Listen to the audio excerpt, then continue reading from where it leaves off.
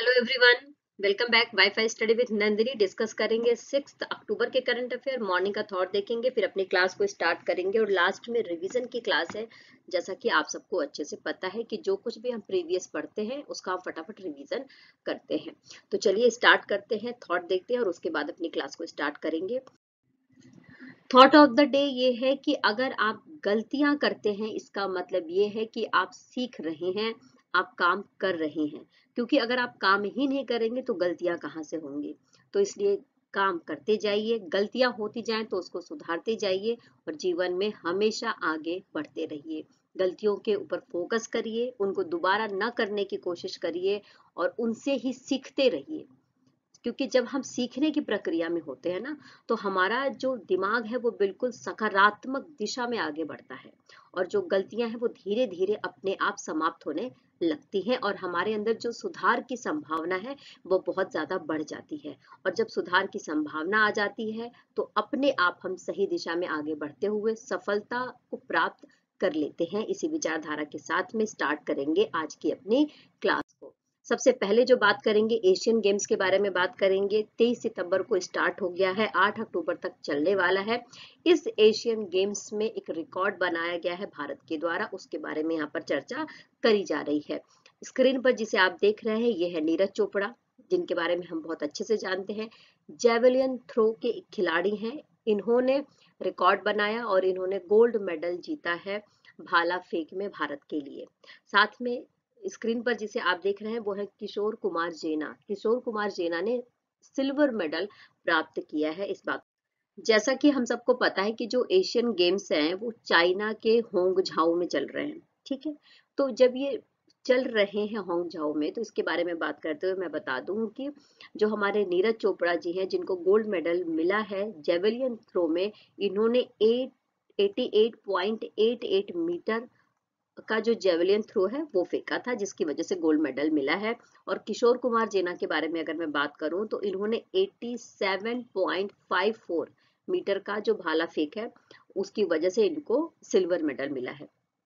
नीरज चोपड़ा का जो सबसे अच्छा रिकॉर्ड है, इनका खुद का व्यक्तिगत रिकॉर्ड, वो है 89.94 मीटर का। है ना? तो आप देख सकते हैं, नीरज चोपड़ा जी की एक उपलब्धि है 89.94 मीटर, जिसको तोड़ना एक बहुत ही बड़ी बात हो सकती है किसी भी जेवेलियन थ्रो खिलाड़ी के लिए। आइए नेक्स्ट बात करते हैं। जैसा कि चाइना के होंग झाओ में ये जो एशियन गेम्स हैं वो चल रहे हैं। इसमें एक और रिकॉर्ड बनाया गया है, उसके बारे में यहाँ पर चर्चा करेंगे। Four into four hundred metre की जो रिले रेस थी, इसमें जो भारतीय टीम के चार खिलाड़ी ने पार्टिसिपेट किया, उसमें भी इन्होंने गोल्ड मेडल जीता है। और देखो, भारत ने four into four hundred metre की जो रिले रेस में गोल्ड मेडल जीता है, इसके खिलाड़ियों के नाम पहले देख लेते हैं। स्क्रीन पर जिसे आप देख रहे हैं, इसमें है मोहम्मद अनस याहिया, अमोज जैकब, मोहम्मद अजमल, वारिया थोडी और राजेश रमेश, ठीक है? तो इनकी जोड़ी ने ही four into four hundred metre की जो रेस थी उसमें गोल्ड मेडल जीता है। भारत ने इकसठ साल बाद ये मेडल जीता है, यानी कि गोल्ड मेडल इसके पहले भारत ने 1962 में एशियन गेम्स में इस तरीके का कोई मेडल जीता था। और भारत की जो महिला टीम थी, जिन्हें, जिन्होंने फोर इंटू मीटर की रिले रेस में पार्टिसिपेट किया, उन्होंने सिल्वर मेडल जीता है। ओके क्लियर नेक्स्ट बात कर लेते हैं आरबीआई के बारे में। आरबीआई का नया एग्जीक्यूटिव डायरेक्टर किसे नियुक्त किया गया है आरबीआई के द्वारा, ये पूछा जा रहा है। तो इनका नाम है मुनीश कपूर। क्या नाम है? मुनीश कपूर, जिनको आरबीआई के नए एग्जीक्यूटिव डायरेक्टर के रूप में जो मुनीश कपूर हैं, उनके बारे में अगर मैं बात करूँ तो तीन अक्टूबर से उन्होंने जो अपना कार्यकाल है, वो प्रारंभ कर दिया इस बात को ध्यान रख लेंगे। नेक्स्ट बात करेंगे। डेलॉयट के वरिष्ठ सलाहकार के रूप में किसे नियुक्त किया गया है? तो ये स्क्रीन पर जो आपको दिख रहे हैं, ये है आदित्य पुरी। तो आदित्य पुरी जो एचडीएफसी बैंक के एग्जीक्यूटिव सॉरी सीईओ यानी कि चीफ एग्जीक्यूटिव ऑफिसर भी थे और साथ में ही मैनेजिंग डायरेक्टर भी थे। तो भूतपूर्व एच से जुड़े हुए थे ये तो अभी इनको डेलाइट के वरिष्ठ सलाहकार के रूप में नियुक्त किया गया है। अच्छा जो हमारा डेलॉयट है, उसका पूरा नाम देख लेते हैं। तो डेलॉयट टोचे तोमात्सु इंडिया ठीक है? एल एल पी ठीक है? इसका ये पूरा नाम है तो इसमें वरिष्ठ सलाहकार के रूप में नियुक्त किया गया है। एचडीएफसी के भूतपूर्व सीईओ और मैनेजिंग डायरेक्टर को जिनका नाम है आदित्य। देखो, भारत की किस योजना ने 50 लाख स्ट्रीट वेंडर्स को कवर करने का लक्ष्य हासिल किया है? सबसे पहले तो ये क्वेश्चन आता है कि ये स्ट्रीट वेंडर्स कौन होते हैं? स्ट्रीट वेंडर्स वो व्यक्ति होते हैं जो स्ट्रीट के किनारे कोई ना कोई अपनी रहड़ी, कोई ना कोई ठेला या कोई ना कोई काम कर रहे होते हैं, उनको स्ट्रीट वेंडर्स कहते हैं। ठीक है? तो 50 लाख से अधिक जो स्ट्रीट वेंडर्स हैं, उनको कवर करने का लक्ष्य रखा गया है, किस योजना के तहत तो उसका नाम पूछा जा रहा है? तो स्ट्रीट वेंडर्स अधिकतर जो हमारा शहरी और नगरीय विकास मंत्रालय है, उसके तहत काम किया जाएगा, और इस योजना का नाम है स्वनिधि योजना, जिस बात को याद देखिए, अभी जो ये 50 लाख स्ट्रीट वेंडर्स हैं, इनको पैंसठ दशमलव सात पाँच लाख का जो ऋण है, वो वितरित किया जा चुका है। ऑनलाइन यानी कि यानी कि डिजिटली जो प्लेटफॉर्म है, उसके माध्यम से इनको ये ऋण दिया जा रहा है। इस योजना के तहत 1 जून 2020 को ये योजना शुरू करी गई थी और इस योजना के तहत पचास हज़ार रुपए का बिना गारंटी का ऋण दिया जाएगा रहनी और पटरी वालों को डिजिटली प्लेटफॉर्म पर ई के का प्रयोग करते हुए। और अभी तक ये देखा गया है कि जब से ये योजना स्टार्ट हुई है तो छियासी सौ करोड़ रुपए से अधिक का जो ऋण है, वो दिया जा चुका है स्ट्रीट वेंडर्स को, ओके? और ये कहा जा रहा है कि 113.2 करोड़ करोड़ से ज़्यादा का जो डिजिटली लेन देन है, वो हुआ है। और डिजिटली लेन देन के लिए यानी कि जो पचास हज़ार रुपए दिए जाएँगे, उसके ऊपर भी क्या दिया जाएगा? सात परसेंट का जो ब्याज है, वो भी दिया जाएगा। और ये ब्याज कितना आ रहा है तो ये ब्याज आ रहा है बारह सौ रुपए, इस बात को ध्यान रख लेंगे। तो आई होप कि सारी योजना आपको समझ में आ गई होगी। एक जून 2020 को स्टार्ट की गई थी प्रधानमंत्री के जो द्वारा स्ट्रीट वेंडर्स के लिए योजना थी। इस योजना के तहत पचास हज़ार दिए जाएँगे डिजिटली दिए जाएँगे ई के का प्रयोग करके। और उसके बाद डिजिटली लेन के बारे में बात करें तो इस पे सात का ब्याज भी दिया जाएगा। बारह सौ रुपए जो होता है। और ये end to end IT platform का उपयोग करके ये पैसे दिए जाएँगे, जिससे कि जो जो स्ट्रीट वेंडर्स हैं वो ज़्यादा से ज़्यादा क्या कर सके, उनकी कमाई हो सके। आइए नेक्स्ट बात कर लेते हैं, पेय पदार्थ के बारे में स्क्रीन पर जिसे आप देख रहे हैं, यह है कोका कोला की कंपनी एक बेवरेज की कंपनी है, जैसा कि हम सबको पता है। तो ये जो अपने छोटे पैक लेकर आती है दस रुपए वाला जो पैकेट होता है ना इसका तो उसमें हंड्रेड परसेंट पुनर्नवीकरणीय पीईटी e बोतलों को पेश किया जाएगा कोका कोला के द्वारा। आप जानते हैं कि ये जो बॉटल्स होती हैं, ये प्लास्टिक की बॉटल्स होती हैं, लेकिन प्लास्टिक की बॉटल्स हमारे पर्यावरण के लिए सही नहीं है। तो इसी बात को ध्यान में रखते हुए कोका कोला ने कहा है कि वो जो है हंड्रेड परसेंट ये जो ये बॉटल्स हैं, उसको छोटे पैक में जो आती हैं, उसको पुनर्नवीकरणीय पीईटी e बोतलों के फॉर्म में लेकर आएगा। ओके पीईटी पीईटी का मतलब है पॉलीथीन टेरेप्थलेट, ओके? तो यानी कि ये ऐसी बॉटल्स हैं जो हमारे पर्यावरण के अनुकूल बनाई जाएँगी। और कोका कोला ने ये कहा है कि इसकी जितनी भी पैकेजिंग होती है 2025 तक ये पूरी तरीके से जो पुनर्नवीकरणीय जो पुनर्नवीकरणीय सामग्री का इस्तेमाल करते हुए ही ये अपनी पैकेजिंग करेंगे। 2025 तक का मोटिव इन्होंने लिया है। ओके? तो याद रख लेना पीईटी e वाली जो बॉटल्स है, जो पुनर्नवीकरण के लिए आई हैं, छोटी बॉटल्स हैं, वो किसके लिए लेकर आएगा कोका कोला तो कोका कोला की कंपनी है बेवरेज कंपनी है, जिसके बारे में हम अच्छे से जानते हैं। नेक्स्ट बात करेंगे सिक्किम के बारे में। सिक्किम में बाढ़ आई हुई है, जैसा कि न्यूज़ में आप देख रहे हैं। तीन अक्टूबर की बात है। तो सिक्किम में अचानक से बाढ़ आई और भारी तबाही हो गई। किस वजह से हुई है? रीजन पूछा जा रहा है। कारण। तो कारण ये है कि ग्लेशियर जो झील थी, वो फट गई है। ग्लेशियर का मतलब होता है कि जब बर्फ़ जम जाए और बर्फ़ पिघल जाए और अचानक से जब भाई बर्फ़ पिघलेगी तो उसका पानी कहीं ना कहीं तो जाएगा। तो जो पूरी तरीके से झील जमी हुई थी, ग्लेशियर के फॉर्म में थी देखो, ये जो घटना है, ये चार अक्टूबर की घटना है, जो हमारा समुद्र तल है, उससे पाँच हज़ार पाँच हज़ार दो सौ मीटर की ऊंचाई पर स्थित है, हिमालय का ग्लेशियर है ये। अच्छा इस ग्लेशियर के पिघलने से क्या हुआ? ये ग्लेशियर धीरे धीरे पिघल रहा था तो इस ग्लेशियर के पिघलने से जो दक्षिणी लोहनक ग्लेशियर झील है, वहाँ पर अचानक से पानी की बहुत बड़ी मात्रा आ गई, यानी कि बाढ़ आ गई। और इसकी वजह से ये सारा पानी कहाँ चला गया? तित्सा नदी बेसिन में चला गया। और तित्सा नदी बेसिन पर एक बाँध था, जो सारे पानी को रोक कर रखता था। इस बाँध का नाम था चुंग थांग बाँध। तो चुंग थांग बाँध बाँध का विनाश हो जाता है, यानी कि ये पूरी तरीके से तबाह होता है और जिसकी वजह से सिक्किम में ये सारा पानी आ जाता है। जिसे यहाँ के रेल मार्ग आप देखेंगे जो सड़कें हैं जो विद्युत है टेलीफोन के टेलीफोन की लाइनें हैं ये सारी प्रभावित हो जाती हैं। और तीन बल जल विद्युत परियोजनाएँ यहाँ पर जो स्थित थी जो सिक्किम में और आसपास के एरिया में विद्युत के लिए आ, मतलब कि सिक्किम और जो आसपास का एरिया है वहाँ पर बिजली प्रोवाइड करवाती थी, वो बुरी तरीके से प्रभावित हो गई थी। तो याद रख लेंगे, तिस्ता नदी बेसिन, चुंगथांग बाँध, जो हमारा दक्षिण लोहना ग्लेशियर झील है, ग्लेशियर के धीरे धीरे पिघलने की वजह से ये घटना हुई है, ओके? आइए नेक्स्ट बात कर लेते हैं। न्यू लिटरेचर फेस्टिवल 2023 का आयोजन किस स्थान पर किया गया है? तो देखो, जो न्यू लिटरेचर फेस्टिवल है, इसका आयोजन किया गया है बेंगलुरु में देखो, ये जो न्यू लिटरेचर फेस्टिवल है, ये सात और आठ अक्टूबर को चलेगा बेंगलुरु में ओके स्पेशली जो बच्चे होते हैं, जो साहित्य में रुचि रखते हैं, उनकी कहानियाँ, उनके, उनको रीडिंग कराना, उनके साहित्य को प्रस्तुत करने का काम किया जाएगा। इस बार की जो थीम है what is childhood without stories इस थीम के साथ में जो ये इवेंट है, उसको सेलिब्रेट किया जाएगा। और इसके अलावा 2018 से न्यू बुक अवार्ड भी की शुरुआत कर दी गई थी। छिहत्तर स्पीकर भाग लेंगे और 600 से अधिक टीमें भाग लेंगी इस इवेंट में ओके आइए नेक्स्ट बात कर लेते हैं स्क्रीन पर, जिसे आप देख रहे हैं। इनका नाम है अंबाई। क्या नाम है? अंबाई। तो Tata Literature Live, Tata Literature Live lifetime achievement award किसको प्रदान किया गया है? तो अंबाई जी को प्रदान किया गया है, जो कहाँ से बिलोंग करती हैं? तमिलनाडु से बिलोंग करती हैं।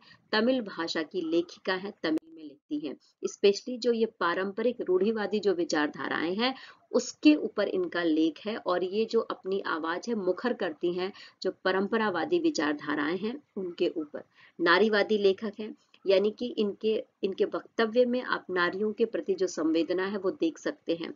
जो लिंग के आधार पर असमानता है हमारे देश में, उसके ऊपर इन्होंने मुखर होकर बोला है।